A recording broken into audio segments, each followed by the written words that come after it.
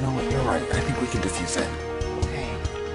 Um, Inspector Stuffing, try to talk in quick, short, and simple English. LOL, task too easy. Okay. So, um, try and see what kind of bomb it is, and then maybe I can do some research online. Chub Chub, you're gonna be in charge of defusing it. Okay. It's T6M74. T6M74. Okay, so, um, it says the best way to defuse it is to cut the correct wires. Well, that's typical. Yes, um, anyway, so, um, cutting the red one will cause it to detonate.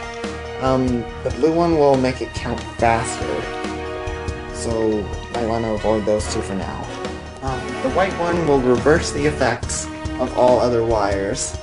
And the yellow one will... Uh, my internet just died. Wow, this is a problem.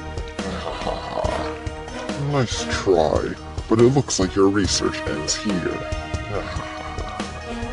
Well, I guess maybe we can figure something out from what we do know. I might have something in my books about this bomb, but no guarantees. Because it's not something that I normally research. Alright, well, good luck with that. Anyway, Chub Chub, see what you can do with what we know. Alright.